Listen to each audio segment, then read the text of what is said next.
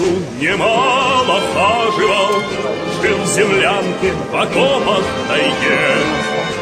Похоронен был дважды заживо, Знал разлуку, любил в тоске. Но Москвою привык я гордиться, И везде повторял я слова.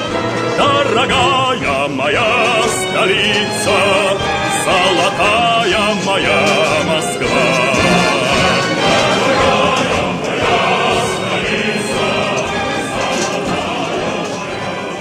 все с вами, все без исключения оказались, переживая его по-разному, в том числе и очень тяжело, испытывая все сложности тех ошибок, которые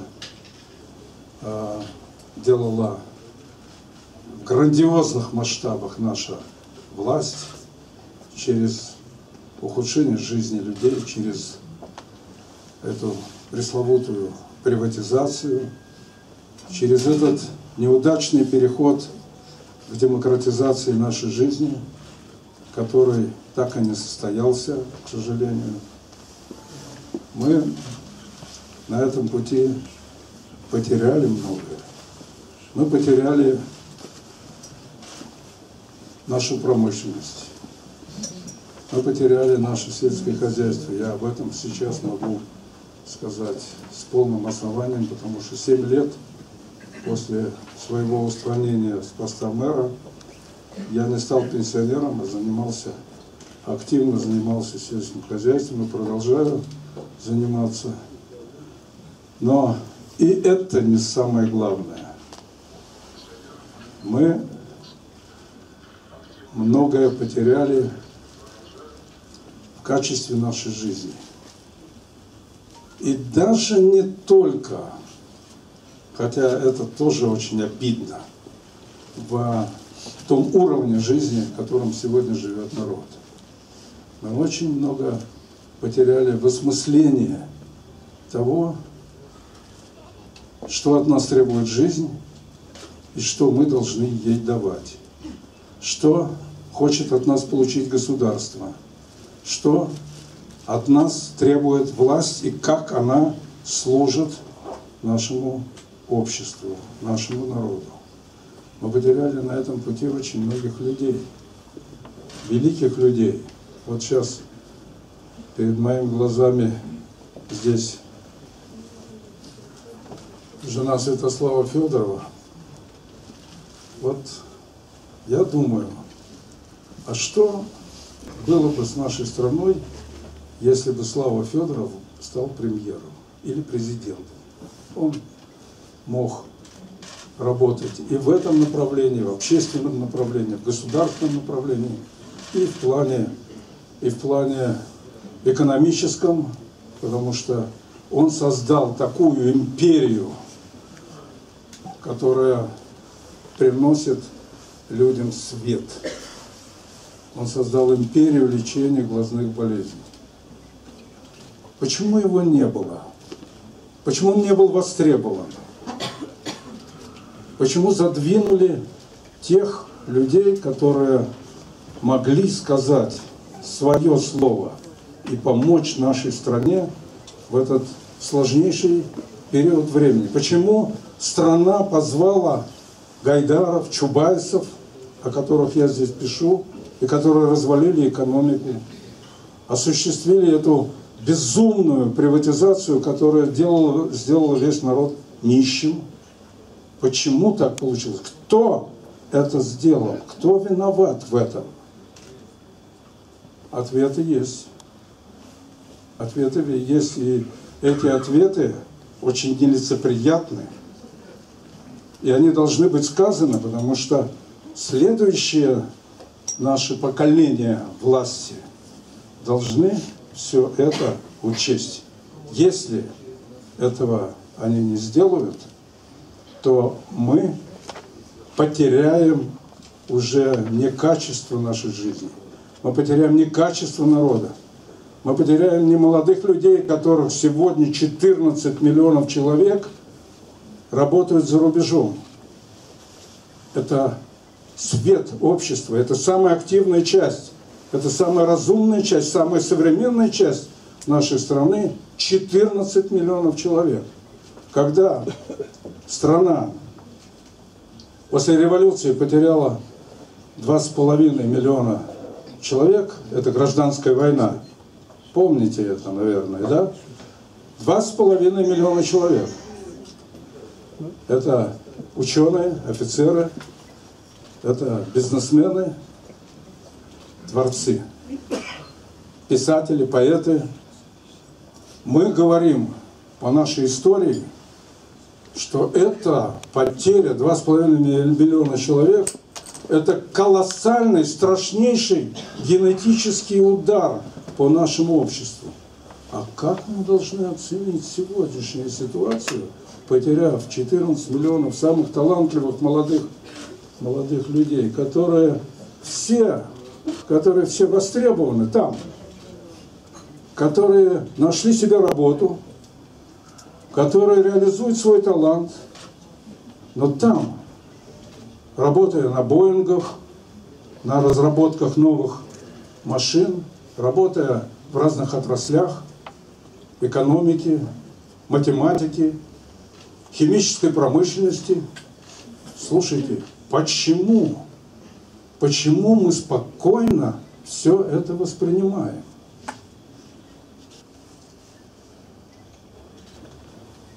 Нужно получать ответы на эти вопросы. Общество должно иметь силу и должно иметь способность, характер, волю эти вопросы задавать власти. Мы их не задаем. Частично об этом в этой книге. А все остальное это жизнь, все остальное это работа, все остальное это та увлеченность, которая, вы знаете, говорят, я смотрел на Шамиля Торпищева. Я его помню сто лет. Слушайте, да. Слушайте, он, он совсем не изменился. Так? Слушайте, я задаю вопрос. Я задаю вопрос. Шамиль, поделись своими секретами. Меня не только. Не только. Человек должен, особенно мужчина, должен всегда быть чем-то занят, должен всегда иметь перед собой цель, должен всегда иметь перед собой какую-то задачу, идею. Ни в коем случае, даже если он получил какие-то удары судьбы, ни в коем случае не пассовать, не лежать на диване и смотреть бесконечно, сутками смотреть ящик. Если он это делает, он стареет. Если он это делает, он уходит из жизни. Почему Шамиль не стареет? Потому что он все время увлечен. У него есть идея по жизни. Он ее достиг во многом, но он продолжает ее укреплять. Это его цель.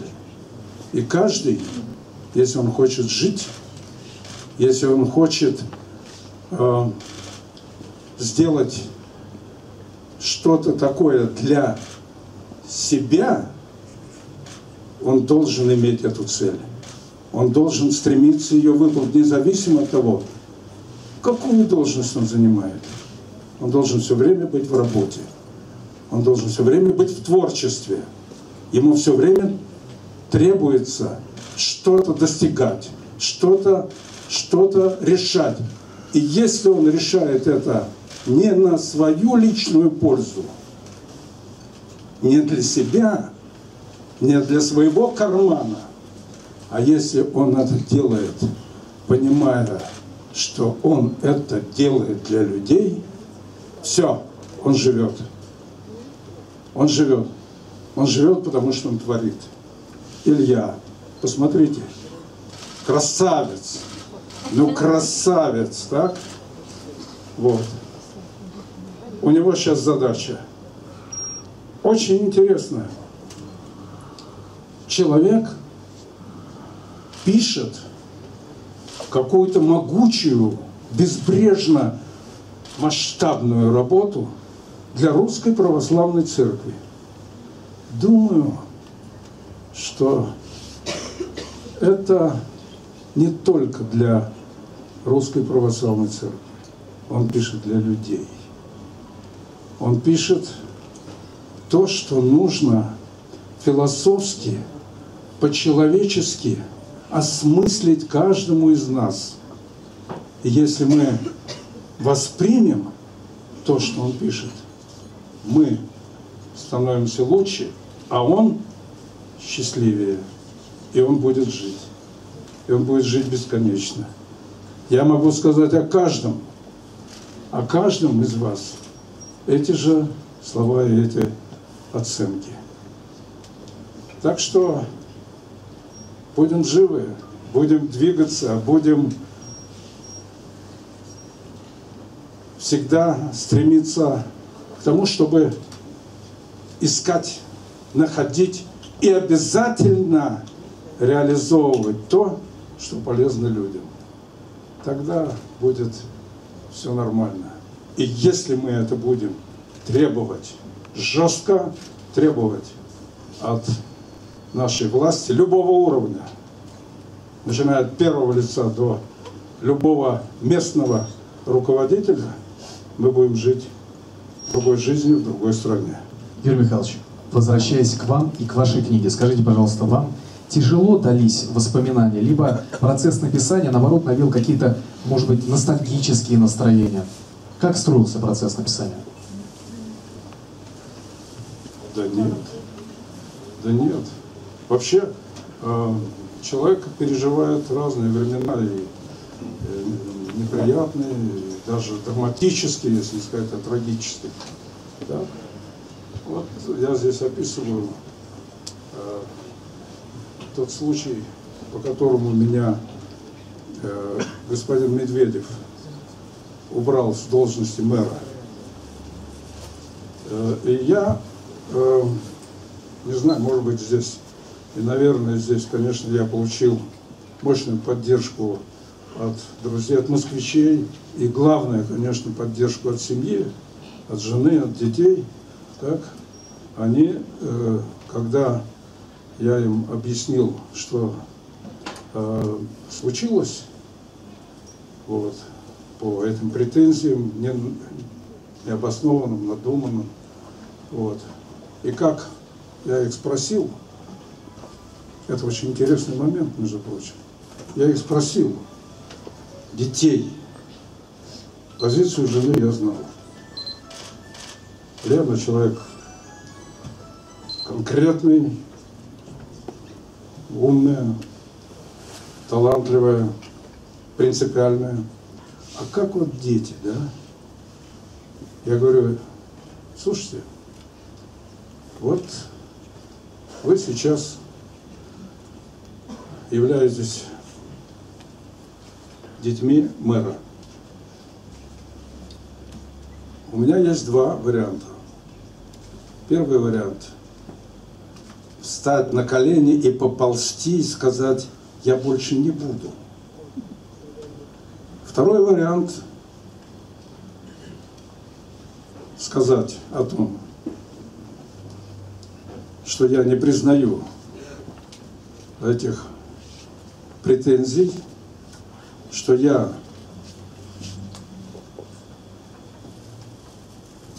не хочу этому человеку помогать в его стремлении неправильным шагам, но у вас будут сложности. Они были студентами Московского университета, одна на третьем курсе, вторая на первом курсе. Вот.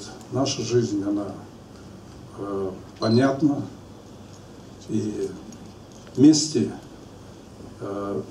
этого человека мы ожидали тоже тоже понятно какой.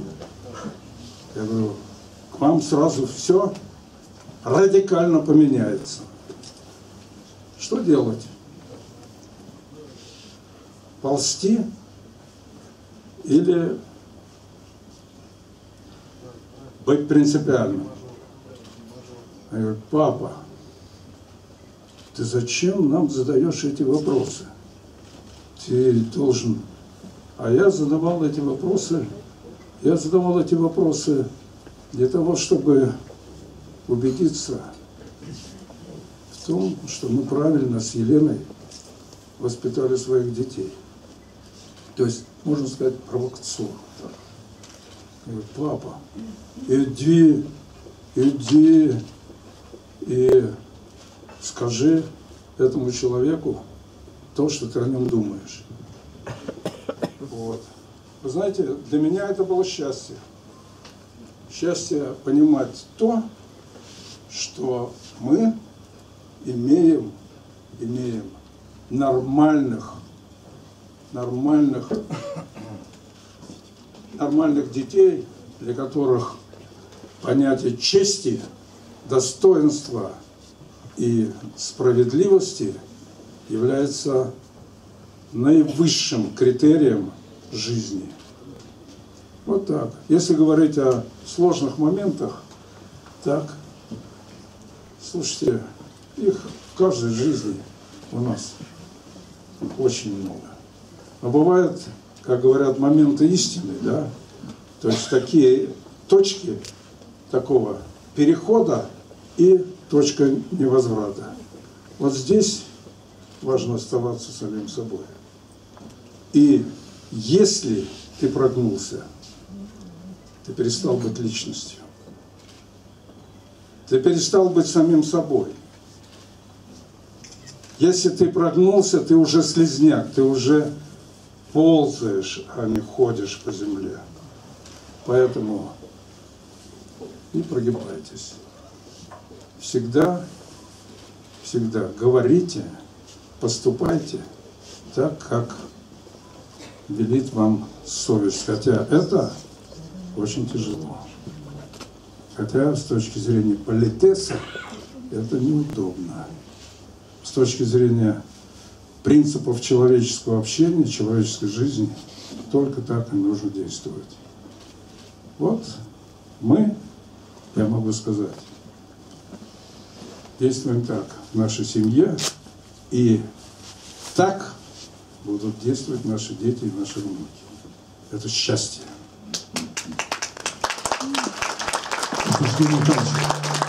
Спасибо. Спасибо вам за ответ. Я не хотел бы узурпировать свой микрофон и свое право задавать вопросы. Я бы хотел вот увидеть в зале Геннадий. Геннадий, да, я вижу, что вы уже здесь. Дорогие друзья, я думаю, сейчас то самое время, когда мы можем перейти уже к вопросам вашим. Поэтому, пожалуйста, по поднятию руки Геннадий увидит вашу руку, и дальше уже у вас будет э, возможность задать вопрос. Геннадий, пожалуйста, передайте первому спрашивающему микрофон. Представляйтесь, пожалуйста. Добрый вечер. Зовут меня Александр. Вопросов будет два. Первый вопрос. Расскажите, когда в первый раз вы увидели Валерия Павлиновича Шанцева, какие у вас были отношения с самого начала с этим человеком и какую политическую карьеру вы ему предрекаете в будущем, если это можно. Ну, а второй вопрос. Как остаться достойным человеком, если вчерашних друзей, которые остались вашими друзьями, называют ворами и предателями Родины? Что делать в таком случае? Что говорить всем? Спасибо. Первый вопрос, наверное, относится не к Валерий. Тимофе- Валерий Павлович Шансов, а, фигура сложная. А, Он а, был а, а, таким не из последних а, функционеров а, в Московской городской партийной организации КПСС. Вот. Э, Потом э, у него сложилось довольно трудное, трудное время, и он был в спортивном обществе «Динамо», А, но для меня, когда я стал руководителем города, э, в общем-то, партийная принадлежность э, не играла большой принципиальной, по крайней мере, роли, потому что город нужно было спасать. И нужны были знающие, грамотные люди, которые могли бы сразу же войти в курс дела по проблемам хозяйства и э, для нас, для правительства Москвы, скажем, работал заместителем премьера Борис Васильевич Никольский, наверное, кто-то помнит, это бывший второй секретарь горкома партии. И нужно сказать, что память о нем, о его работе уже в новой власти была самая светлая. Он быстро ушел из жизни, к сожалению. Вот. Но это самая светлая память о тех э, мерах и решениях, которые он предлагал и проводил в жизни по спасению тогда московского городского хозяйства. Шансов грамотный э, специалист, он работал сначала префектом, вот, потом он работал э, вице-мэром, вот, а потом э, в силу своих, может быть, э, таких неудовлетворенностей, ему хотелось стать мэром. Вот. Он уговорил государственные власти, и его э, направили, э, я так понимаю, что бороться со мной ему было э, не очень перспективно, город развивался, отношение людей к мэру действующему было нормальное. Вот, и все, так сказать, планы, все элементы развития были налицо, и он попросил его назначить э, губернатором какой-нибудь из областей, ему предложили Нижегородскую область. Дальше у нас контакты с ним потерялись. Контакты с ним потерялись, и сейчас я знаю, он уже не губернатор. Вот. Единственное, что я ему пожелаю, это не становиться пенсионером. Если у него есть силы, если у него есть энергетика, ему нужно найти какое-то какое дело, которое уже, может быть, соответствует не высокому губернаторскому посту, хотя сейчас это здорово все помельчало. Вот. Но какое-то продолжение в своей работе обязательно нужно найти. И любой человек, который уходит с государственной должности, должен думать и обязательно решить, и обязательно найти себе новое приложение э, в работе, в деятельности, в творчестве, чтобы, чтобы не, э, как это часто бывает, не считать себя и не чувствовать себя ненужным. Ненужным в обществе самое страшное ощущение, которое приходит человеку пенсионного возраста или уволенного по разным причинам со, со своей должности. Вот это самая большая опасность. Дорогие друзья, я хотел бы еще внести маленькую организационную ясность. Я попрошу вас, нас очень много сегодня, по одному вопросу. Да, не хорошо. два, не три, хорошо. только по одному. Спасибо. Давайте. И не забывайте, пожалуйста, представляться. Большая просьба. Вопросы по теме, по книге, по презентации. Здравствуйте. Э, газета «Региональные вести». Юрий Михайлович, у меня вопрос не совсем по теме книги, но тем не менее, может быть, в развитии. Расскажите, пожалуйста, о ваших планах на будущее. Планируете ли вы заниматься политической деятельностью или это проекты в сельском хозяйстве будут? Расскажите об этом, пожалуйста.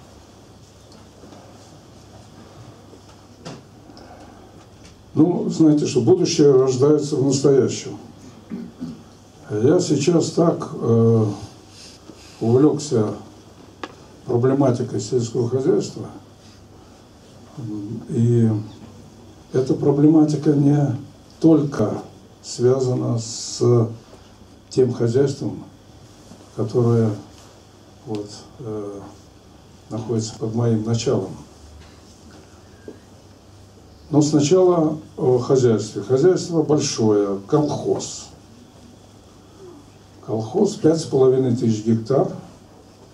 Я э, там выращиваю овец, причем впервые в Калининградской области это э, породистое э, поголовье овец.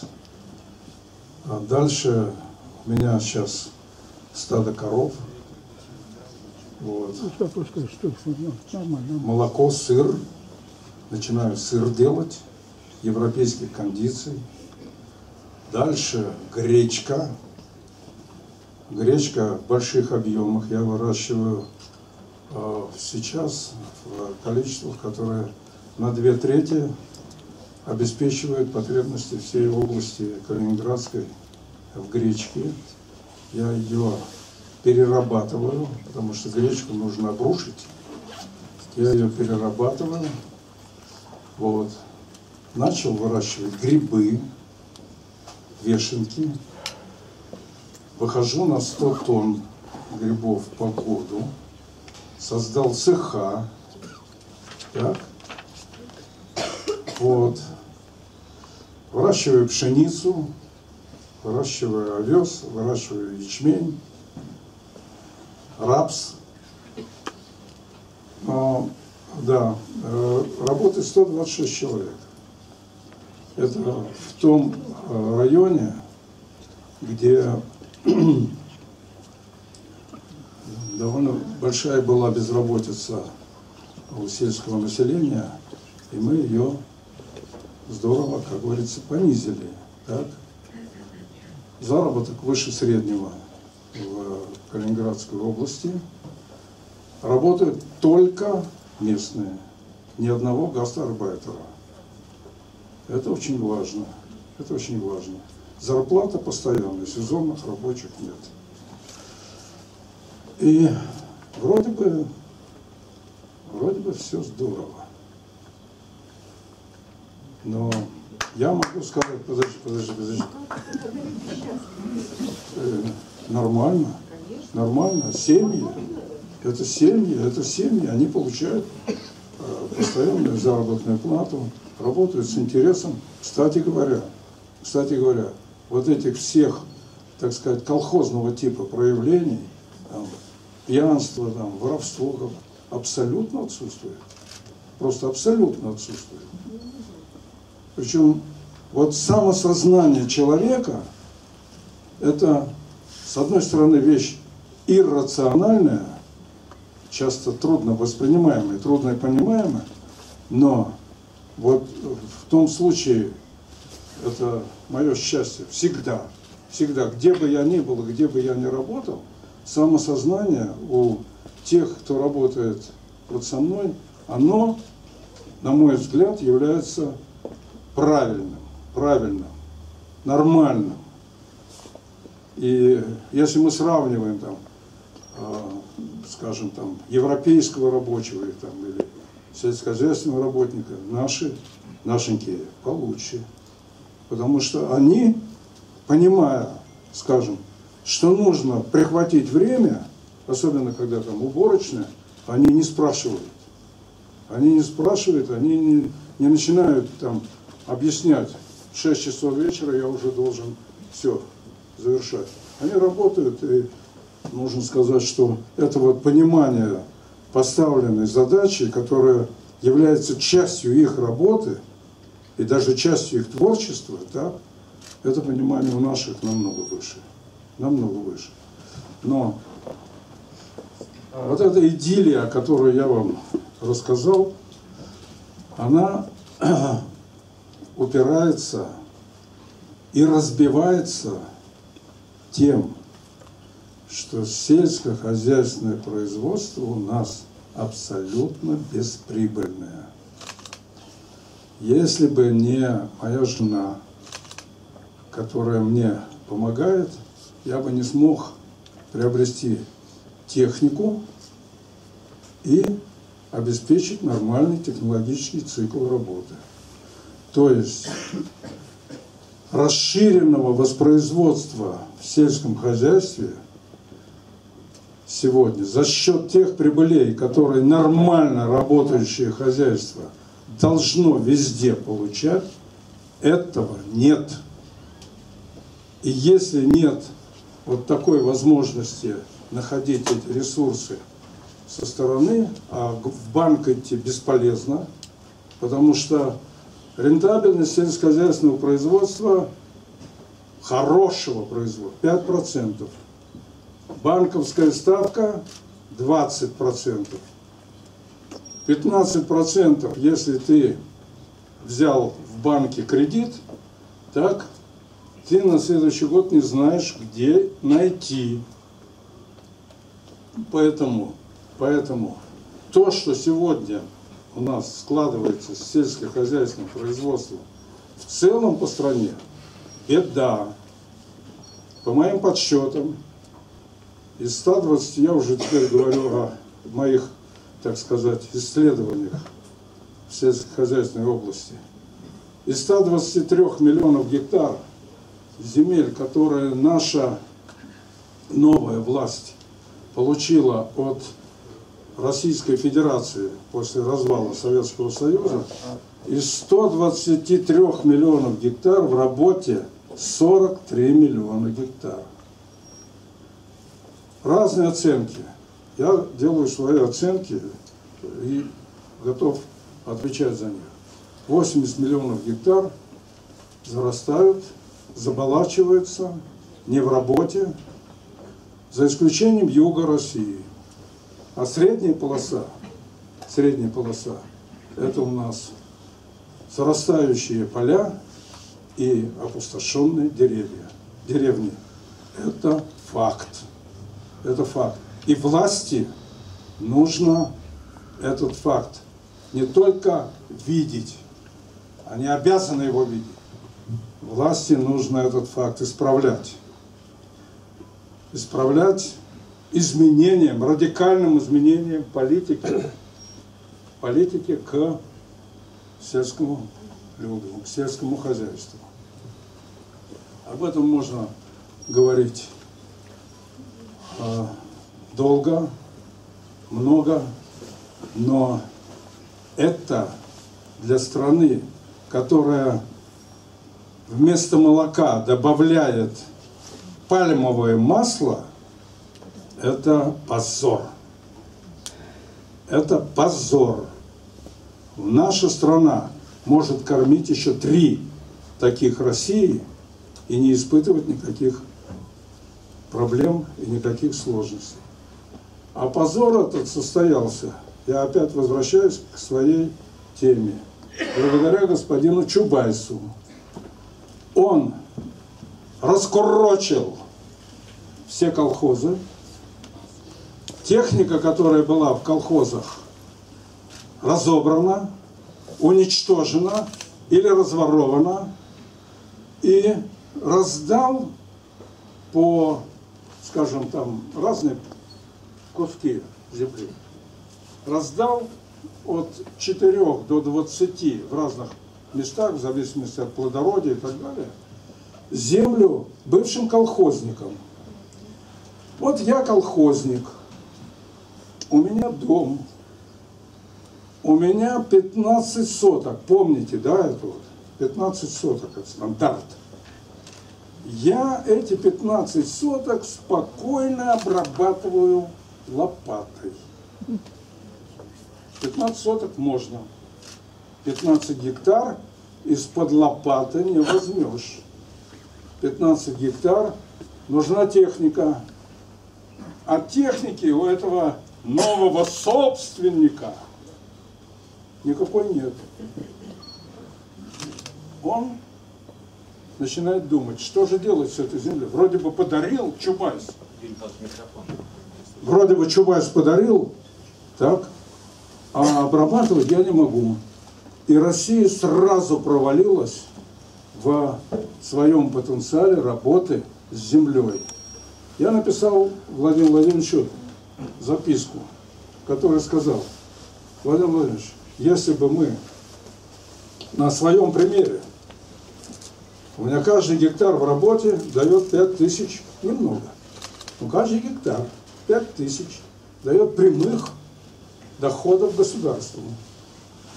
Если бы мы занялись сельским хозяйством, и каждый гектар у нас был бы в работе, то нам не нужно зависеть ни от нефти, ни от газа. Ни от нефти, ни от газа. Но, что я вам еще хочу сказать. Слушайте, вот наши мыслители, писатели, поэты, философы, ну, наконец, наши представители старшего поколения с патриотической, так сказать, основой жизни, взглядов, принципов, говорят, где же наша вот самобытность, где наша идентичность, как ее сейчас называют, да? где она? Она у нас уходит и замещается вот этим гламуром американистскими, э, американскими какими-то, э, ну, я бы сказал, такими очень привлекательными э, ну, шоу там и так далее. Мы теряем, мы теряем наше национальное самосознание, мы, мы теряем наши ремесла, в конце концов. Так? Вот. Одежда, все, все, что было ценным – для нашего общества, которое должно быть сохранено, сегодня, сегодня растворяется вот в этом гламуре, вот в этом нашествии этих самых э, э, неприемлемых, в общем-то и целом, но интересных видов э, западной культуры. Так вот, и все, и все очень по этому поводу переживают. Я говорю, а где эта самобытность рождается? В городах? Может быть. Может быть, философия, да. А сама самобытность, ремесла, культура народная, так, обрядность, обычаи, все это в деревнях. Все это на месте, где земля рядом – и мы сейчас теряем не только потенциал нашего продовольственного обеспечения, во многих направлениях мы его потеряли. Мы радуемся тому, что мы, ух ты, всю вселенную заполнили зерном, пшеницей. Продаем, и она сейчас рухнула в цене, кстати, из-за этого. А ответьте на вопрос – а сколько мы покупаем мяса? Чего? Мясо. А компенсирует ли это те поступления, которые мы получаем от продажи пшеницы? А какое мясо мы покупаем, которое 20 лет хранится в ресурсах и в резервах НАТО, замороженное, и после этого, ну не выбрасывать, лучше продать. Кому? Кому? Стране, у которой 9% от мирового потенциала сельскохозяйственных земель. Слушайте, что за дикость пришла к нам, в наш народ? Что мы не способны? Что мы не способны работать на своей земле, организовать работу на своей земле таким образом, чтобы и накормить качественным продовольствием свой народ, и не только одним зерном, но и всем тем остальным, за исключением ананасов, что мы не способны снова вернуть, вернуть человека на землю, вернуть ремесла, вернуть все те принципы жизни, они у нас разнообразные, они у нас очень красивые по нашей многонациональной стране, не способны. Не способны не из-за народа.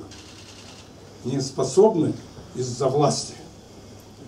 Она должна это делать. Это ее ответственность перед народом.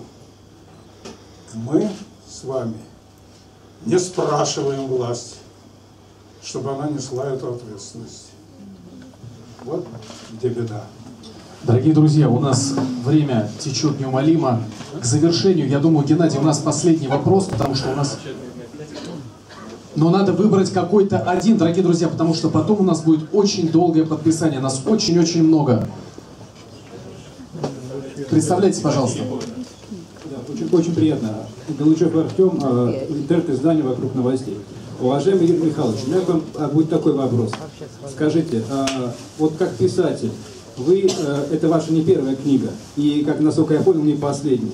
А, если можно э, пояснить, э, когда ждать следующую? И о чем она будет? А почему вы говорите одна? Нет, нет, я сказал наоборот, не одна. Это не первая ваша книга. Нет, первая. А вы говорите, когда будет следующая? Да, да. А почему вы не спрашиваете, когда будут следующие? Может быть и так.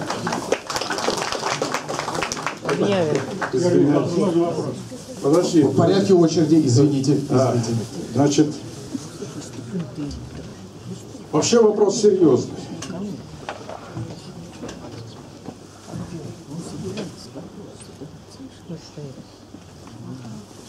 Следующая книга будет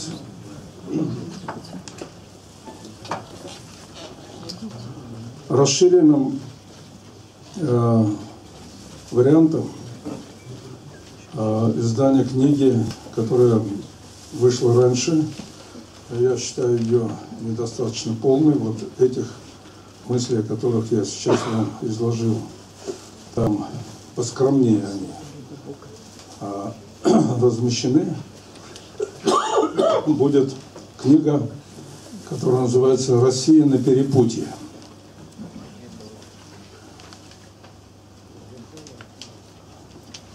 Там две темы такие важные. Первое. Мы сейчас очевидно обозначили тенденцию на углубление дружбы с Китаем. Я задаю вопрос сам себе. А правильно это? Тактически, может быть, да? Стратегически. Самая большая опасность у России – это юг, юг Сибири. Это возможность, опасность потерять Сибирь. А кто может ее, так сказать, освоить? Китай.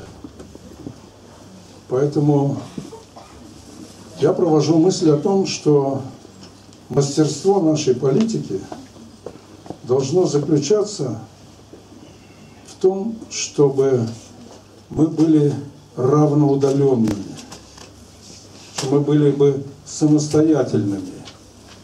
И сближение с Китаем, которого философию, интересы, цели мы совсем не знаем. Это вещь опасная. Это не означает, что нужно враждовать. Это означает, что нужно проявлять осторожность. Сегодня в мире возникла новая ситуация. В Европе мировые войны не повторятся. Сегодня центром противостояния в мире стал Тихий океан. То есть этот центр противостояния ушел от нас довольно далеко. И нам правильно было бы держать равную удаленность от тех, кто сегодня в этом центре противостояния являются главными игроками. Это Соединенные Штаты и Китай. Нам не нужно в эту сложную ситуацию их взаимоотношений влезать на стороне кого-нибудь.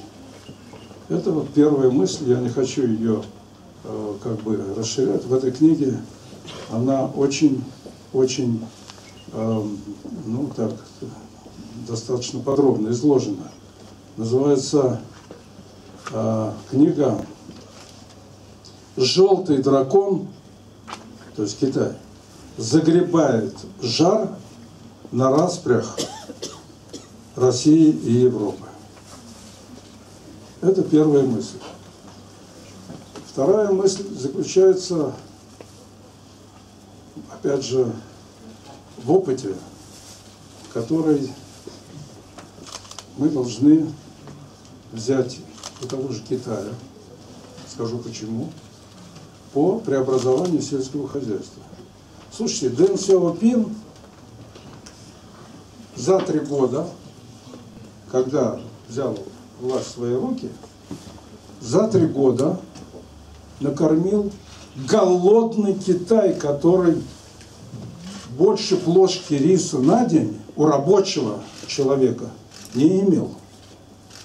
За три года он расформировал колхозы, там у них были бригады, так? И всю землю Дэн Сяопин объявил государственной. И дальше он говорит, крестьянин, хочешь работать с этой землей, пожалуйста, я тебе ее даю бесплатно. Но она государственная. Если ты можешь обработать в два раза больше, я тебе даю в два раза больше земли. Столько, сколько ты можешь, но обработать. Но обработать. Слушайте, за три года уменьшение количества вот этих самых э, артелей, которые там были главенствующие, так, э, и увеличение вот такого э, э метода обработки работы с землей, за, только при условии, что она государственная, так, он за три года накормил страну. Я, будучи мэром, покупал консервы в Китае. За счет вот этой, так сказать, системы, которую он ввел, и сегодня Китай является грандиозным экспортером сельскохозяйственной продукции. Государственная земля, работаешь, земля всегда твоя. Так? Хочешь расширить, тебе дополнительно, он еще, кстати, к смеху сказать, использовал Маркса. Умелые крестьяне нуждались в рабочих руках. Это уже не социализм. Так? Это уже не социализм. Что сделал Дэн Сяопин? Он вычитал у Маркса в «Капитале». А тогда такая кондовость у китайской компартии была очень серьезной. Попробуй пошутить, тебе сразу голову отнимут. Значит, он вычитал у Маркса, что капиталистом у Маркса считается человек, который привлек 8 работников. Дэн Сяопин проводит через политбюро ЦК КПК Китая решение о том, что сельхозпроизводителю разрешается нанимать 7 человек. Не 8 человек, потому что у Маркса 8 это капиталист. И провели это решение, и пошло развитие сельхозпроизводства. Вот, пожалуйста, как.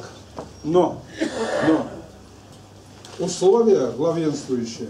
Перестала работать с землей, она снова возвращается в государственную собственность, и находятся те, кто будет на этой земле работать. У нас сегодня громадные массивы земли, которые якобы принадлежат кому-то, они уже или за рубежом далеко, или уже почили в Бозе, или не занимаются, работают где-то в промышленности. И у власти местной, да и у власти большой, нет возможности, нет возможности и права отобрать эту землю. Ну, какие выкрутасы нам соорудил господин Чубайс. И это, это будет еще долго висеть почти домоклым мечом над нашим сельхозпроизводством. Нужна новая реформа. А возможности и настроение, понимание того, что это обязательно нужно и быстро нужно делать, так, у власти нет. Почему? Посмотрите, кто там в Министерстве сельского хозяйства. Ткачев. Юрий Михайлович, микрофон, пожалуйста. Не слышу. Латифундисты. Вот, уже понятней. Ну что ж, Юрий Михайлович, спасибо большое за ваш рассказ. Дорогие друзья, большое спасибо за ваши вопросы. Я попрошу сейчас вас организованно, вот с этой стороны, Я люблю подмосковные рощи. И мосты над твоею рекой. Я люблю твою красную площадь И кремлевским курантов бой. В городах и далеких станицах О тебе не умолкнет молва. Дорогая моя столица, Золотая моя Москва. Дорогая